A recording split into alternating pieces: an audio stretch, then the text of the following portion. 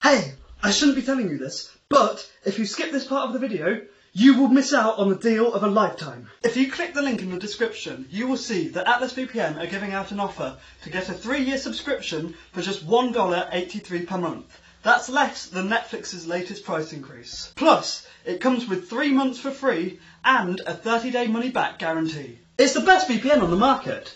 And you can use it to watch shows that are not available on streaming services in your country. So you can watch Friends on UK Netflix, no matter where you are in the world, as long as you have a subscription to Netflix. You can even use it on unlimited devices, so everyone in your house can watch Friends on UK Netflix at once. And they keep your searches private, so that we'll all finally stop spying on you. But remember, time is of the essence if you want to get this offer. Just $1.83 per month to get a three-year subscription by clicking the link in the description below. I forgot to congratulate my girlfriend for getting into a college. I was on call with her when she said that she got in the college. I directly went past the congratulations stage and told her the next steps like accepting the offer, booking the medical, etc. I have already been through this so I was just telling her what to do. She's in India, I'm in Canada. I messed up really bad and she's pissed at me. From PAV I told her what to do because I didn't want any delays in her process and from her PAV I made her feel that I'm uninterested. She said, it's the small things that matter, so it's not okay, and she says that my words and actions don't align. Any advice on how to cool this situation down? Buy her a thoughtful gift and apologize.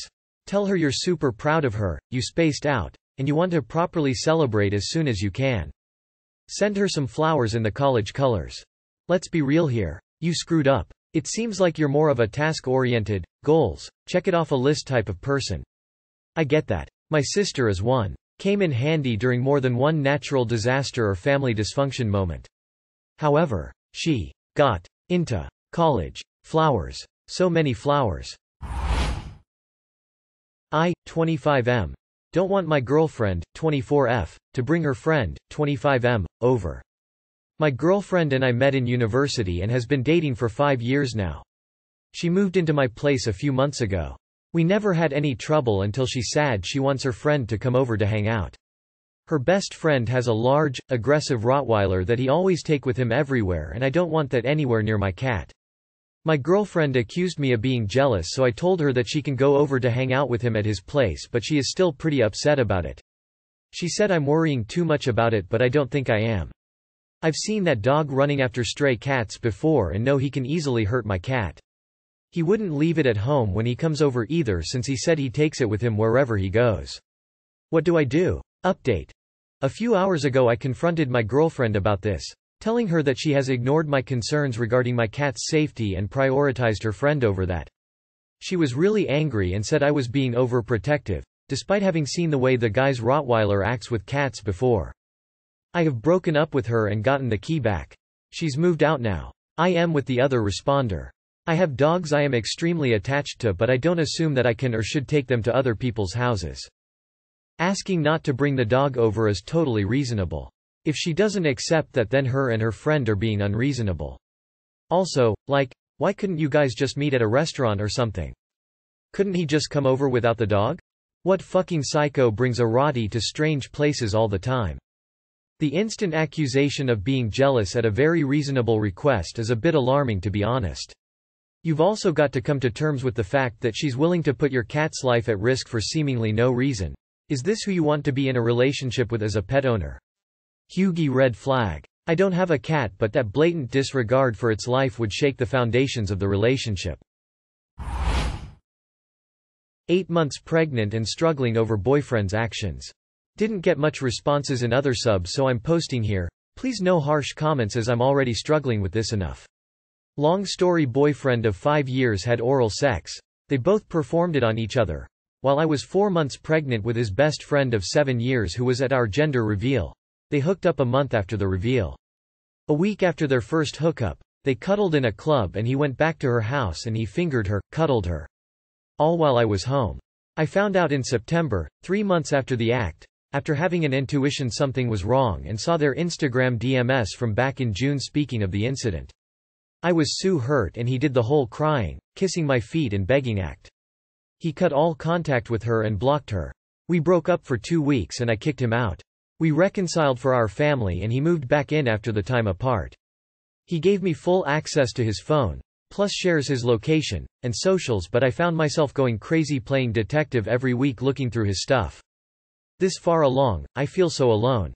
I don't have parents and my friends all moved away. I'm laying in bed wondering why does everyone who say they love me wind up hurting me. This is not how I pictured living the last month of my pregnancy. I'm having nightmares about the girl and him. He claimed he was drunk but after a long talk last night, I realized that although they were physically messing around when drunk, they did twice a week apart. The flirty messages reflecting on their sessions, and him still choosing to go out to the club with her were all a sober month's actions. He knew what he was doing and still kept going. It's so hard to believe knowing that he had plenty of times to stop. I was so sick during my pregnancy. It doesn't help that I found out by looking through his phone three months after the incident, not him confessing. They were in contact the day before I found out talking about a group trip and were a bit flirtatious. She was even going to come to our baby shower but I found out right before. I told him three days ago that I don't know if I can live like this and may need space to have some sense of peace the remainder of my pregnancy. But after a night of aches and pain due to my pregnant belly, he came to help me fall asleep and we slept in the same bed again, he was on the couch. Every kiss, every cuddle, every word we share, I cringe because he shared that with her. It just doesn't feel the same anymore. I restated yesterday that I couldn't do this anymore and asked him to leave once again in peace. No puppy dog eyes or begging, if he truly cares about me and his son. Of course, he was panicking, stalling, crying and telling me how much he doesn't want to live without me but I stayed firm and he left last night. He's currently in therapy, double A and reading a lot of self-help books. He is remorseful, but again, I don't know how I will ever get over this. I want him but don't feel much peace with him cause I keep being reminded of how awful he did me. My heart is shattered, I'm currently in therapy as well. I can't believe he blindsided me this bad. I still love him though but this feeling is insufferable. I kicked him out again last night cause I just couldn't take seeing him every day and pretending everything is fine. I see his efforts but I want to live in peace the rest of my pregnancy and focus on my son coming in November. Complete no contact is impossible. I guess I could until I go into labor. I'm supposed to be happy during this time and it's turned into another traumatic event in my life. Crying. Any advice? Oh and don't feel obligated to have him at the birth if it is going to stress you out. Having a baby is a tough job and you need to be surrounded by those who make your job easier and not harder. He'll be back screwing her while you are in postpartum. They have a longer relationship and will continue seeing each other. The waterworks are for show to make him feel like a victim and because he got caught. Have a postpartum plan in place. Have a child support and co-parent agreement ready for him. That should be the only way you can remain in contact and meet. You can go NC for the remainder of your pregnancy to get peace and quiet and get used to living without him. You most likely can't trust him again. This wasn't a one-time mistake. Don't stay in a relationship, for the kid. Surround yourself with people who love and support you. Am I weird for not wanting to be in a relationship no matter how much I love the other person? So I'm going through a breakup. My, 38 male, ex-girlfriend, 38 female. And I pretty much decided that our relationship wasn't working and both of us had needs that weren't getting met so we mutually and amicably decided to break up. Then the weirdest thing happened. My depression that had been plaguing me for years just went away. It was as if a huge weight had been lifted off of my shoulders and I could breathe for the first time in the five years that we had been together. Here's the thing. My ex is wonderful. She's beautiful, smart, great in bed and an all-around great person and I love her. I think I'm realizing for the first time in my life that I need as close as possible to absolute freedom to be happy. It's like as soon as I feel tied down I start to get depressed and then life becomes really hard. I'm happy for the first time in five years and I'm wondering if anyone else out there can relate. Is this common and I'm just unaware? Is there a Reddit group for this? I do feel a bit foolish for not realizing this sooner I just couldn't figure out why I was so sad when I had such a wonderful partner but now I think I know. It was because having a partner makes me enjoy life less no matter how wonderful they are. What about being in a relationship makes you fell, tied down?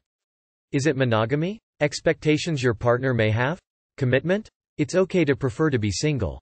There is not one life script that everybody has to follow. That said, it's also possible that you get depressed in relationships because of some systemic psychological trauma or issues that you could work past. Did a parent abandon or abuse you? Did you have a really traumatic relationship in your past?